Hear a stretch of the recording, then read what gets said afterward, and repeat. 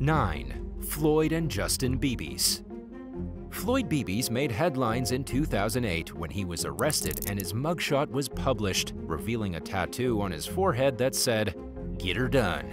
He told the smoking gun that he also had a tattoo on the back of his head that said, Got her did. The forehead tattoo reportedly cost $125 and took about 40 minutes to complete. Beebes, a father of eight, said that his wife was less than impressed with the artwork and called him crazy. But his son Justin felt differently because he followed in his father's footsteps, getting a tattoo in the same exact place. Smack dab in the middle of his forehead. And just like his father, Justin got into some trouble and has a mugshot which reveals the word psycho in plain black lettering. 8. Ronald Hayden and Abby Cat 2012, a father and his two children were arrested in connection with a slew of bank robberies in the Portland, Oregon and Houston, Texas areas, which coincided with the family's move from one state to the other. The findings came when the Fort Bend Sheriff's Office in Texas charged 50-year-old Ronald Scott Cat, his son, 20-year-old Hayden, and his 18-year-old daughter, Abigail, for robbing a credit union. In their most recent robbery, Ronald and Hayden allegedly wore disguises and even carried guns before collecting the money and getting into a getaway car driven by Abigail. Detectives managed to trace orange vests that the men were wearing to a Home Depot store and connected them to the purchase. Community member Eric Lundeen was surprised by the arrest. He told ABC News that Ronald had seemed like a solid and responsible person and that he did a good job of being there for his kids after losing his wife and their mother. And it's true that by all appearances, the trio lived a typical middle-class American life. But the widower quietly struggled to hold steady employment and secretly had drug and alcohol addictions, leaving him desperate to increase the family's income. Ronald lost his job in 2011 and his house was foreclosed on, and he relocated to Texas after finding a new job there. Before joining him, Hayden went to Hawaii to work at a resort, and Abigail dropped out of school and moved in with her grandmother. By then, Ronald had already committed at least one bank robbery in Oregon. And when the kids rejoined their father in Texas, they began helping him carry out the heists. Ronald received a 24-year prison sentence, while Hayden was sentenced to 10 years, and Abigail was sentenced to five years. Abigail was released after serving about three years, but was thrown in jail again just a year later for parole violations. Her brother and father are still serving out their sentences. 7. Caroline and Mariel Winand After receiving a call about a loud party in 2014, police in Naples, Florida busted the homeowner's daughter 18-year-old Marielle Winand for throwing a wild bash. Officers later reported that the young woman came to the front door with the help of two friends because she was too drunk to answer it on her own. In fact, she could barely stand. She gave the police her mother, 56-year-old Caroline Winand's phone number. Caroline acted surprised when she answered the phone and claimed that she was out of town she permitted the officers to kick out anyone who wasn't supposed to be at the house. They obliged and began searching the home, during which time they found 20 teens attempting to hide. But the officers were shocked to find Caroline herself hiding inside, along with the underage kids. Once she realized she was caught red-handed, she tried to defend her decision to allow the party, claiming that the youngsters were safer with her around than they would be if they went and drank elsewhere. Police saw it differently and later said that Winand was lucky that none of the drunk partygoers tried to drive that night. Had that happened and had anyone gotten caught or, God forbid, gotten into a crash and hurt someone, Caroline could have faced more serious charges. She was hit with 26 counts of selling, giving, or serving alcohol to a minor, while Mario was charged with hosting an open house party. While the outcome of the case is unclear, it appears as though the pair have moved past the incident. Caroline Winand's career as a successful realtor has remained intact. Mariel works as an actress and has relocated to Los Angeles. 6. Cornelius Johannes Ice and Cornelius Johannes Albertus Ice 60-year-old Cornelius Johannes Ice and his son with the same name 23-year-old Cornelius Johannes Albertus Eis, are in some serious hot water with the law in South Africa for allegedly trafficking 39 Mozambican immigrants for farm labor. The father and son duo are accused of working with two brothers from Mozambique, 34-year-old Carlos Bernardo Guambe and 32-year-old Gabriel Bernardo Guambe, who've also been charged in connection with the illegal operation. The victims were reportedly recruited based on the promise of better jobs and a better life, and were brought to South Africa from Mozambique by taxi. Seven of the 39 individuals are women and nine are children under the age of five, while the remaining 23 are men above the age of 18. They were rescued from a farm in the town of Belfast in Mpumalanga province. Both father and son are being held without bail, along with the Guambe brothers. The arrest will hopefully come as a hard-learned lesson that they can't skirt around the law to save on the costs of running a business. 5. Nicole Brooks and Isis Wallace A teenage girl's life was tragically cut short earlier this year when someone shot her to death in Bluefield, West Virginia. Police identified 43-year-old Nicole Brooks and her daughter, 22-year-old Isis Wallace, as their prime suspects. But the women were nowhere to be found sparking an interstate manhunt that came with warnings to the public that the suspects were considered armed and dangerous, and a $5,000 reward for information leading to their capture. The search ended six days later in Dover, Delaware, where the pair were found hiding out in a hotel.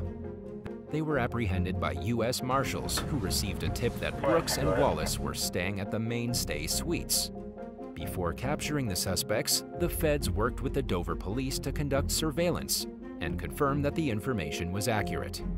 Both mother and daughter surrendered without incident. They're accused of shooting their victim while targeting some adults in a parked vehicle that was stopped at a red light. Authorities believe that the deadly encounter stemmed from a previous domestic incident between Wallace and her ex-boyfriend. The man's sister had driven up from North Carolina to get him after the spat, and she brought her daughter with her.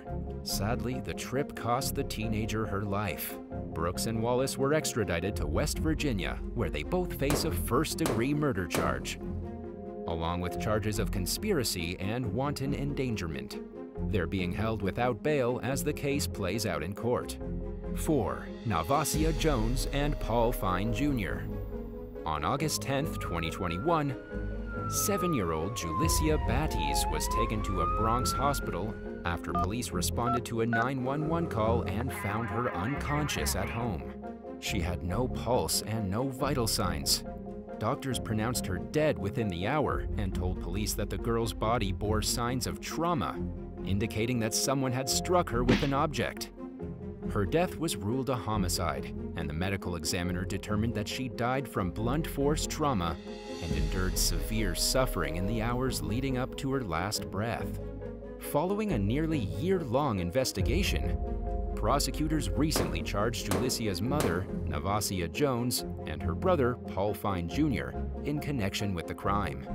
They each face a charge of murder with depraved indifference, which means that they're accused of having no regard for the little girl's life, even if they didn't specifically intend to kill her.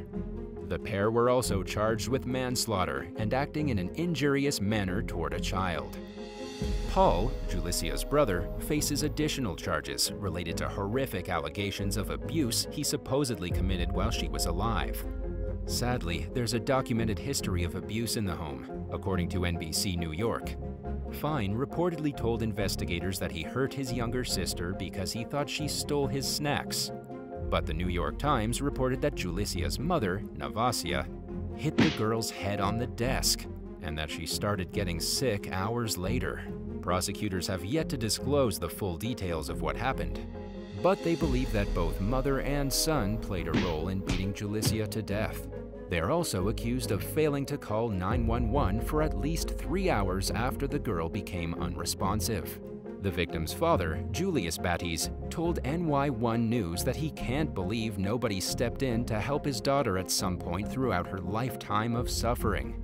Her grandmother, Yolanda Davis, said that she had tried to gain custody of Julissa in 2020 but was denied. 3. Gerardo and Leobardo Zurita Police in Fresno, California are accusing 40-year-old Gerardo Zurita and his 19-year-old son, Leobardo, of co-conspiring in the recent murder of a relative. Gerardo allegedly drove a vehicle past the residence of his daughter, 21-year-old Stacy Zurita, and her partner, 25-year-old Raul Bobby Nunez, while Leobardo shot at least 10 rounds at the pair. Stacy and Nunez were both killed in the gunfire, which was captured on surveillance footage. Detectives have concluded that Stacy wasn't a target, but she nevertheless came into the path of a bullet. A spokesperson for the agency told the Fresno Bee that the double homicide came after a fight broke out between Nunez and members of the Zurita family. According to witnesses, a car resembling the one involved in the shooting had passed through the area earlier in the day. It's believed that the same vehicle returned later that night to commit the violent act. After the murders, the killers allegedly tried to conceal their identities. The elder Zurita shaved his head and facial hair, while Leobardo cut off his ponytail, according to Fresno Police Lieutenant Paul Cervantes. He further explained that while some of the people involved in the shooting may have ties to gangs, the crime itself was not gang-related authorities arrested the two men at their home and took them to the Fresno County Jail, where they were booked into custody on suspicion of murder. In addition to the charge for killing his own daughter and her boyfriend, Gerardo faces a DUI charge. The murder weapon has not yet been found. After interrogating the younger Zurita, detectives said that Leobardo was extremely remorseful for what happened and that he didn't mean to shoot his sister. But feeling sorry isn't enough.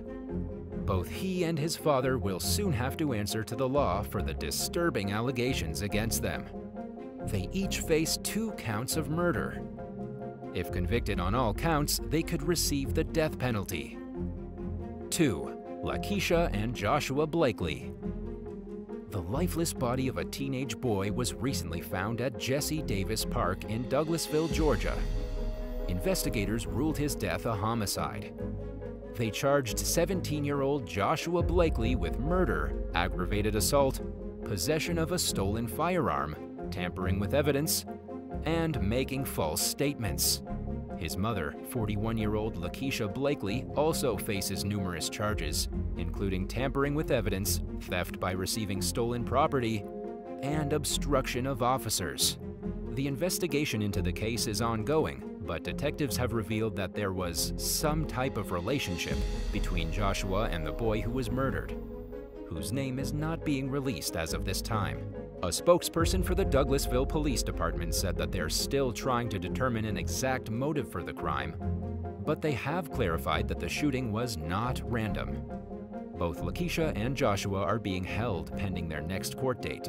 Sadly, the boy's death came as the second homicide of a young person in one week in the Douglasville area. In the tragedy's wake, Police Chief Gary Sparks reminded the community to look out for and protect the city's youth. He specifically called on parents to know what their kids are up to, who they hang out with, and to monitor their belongings and social media accounts. 1. Tara Gates and Cassius Giles Late last year, a 50-year-old Tennessee man named Willie Gates Jr. was arrested in connection with the shooting death of 57-year-old Jerry Yates Tiptonville. He faces a first-degree murder charge. But the crime is proving to be a family affair, as evidenced by the arrests of Willie's wife, 45-year-old Tara Gates, and her daughter, 19-year-old Cassius Giles, who were both put in handcuffs several months after the incident. Mrs. Gates and Giles are accused of threatening a witness into providing a false statement to the Tennessee Bureau of Investigation, TBI. Gates faces charges of aggravated assault, coercion of a witness, criminal conspiracy, and false report. Giles was charged with coercion of a witness, criminal conspiracy, and false report. The pair were booked into the Lake County Jail, and the case is ongoing. Thanks for watching. Would you rather find out that your sibling co-conspired with one of your parents to commit a petty theft, or hear that your best friend has decided to move halfway around the world to be closer to their parents? Let us know in the comments below, and don't forget to subscribe.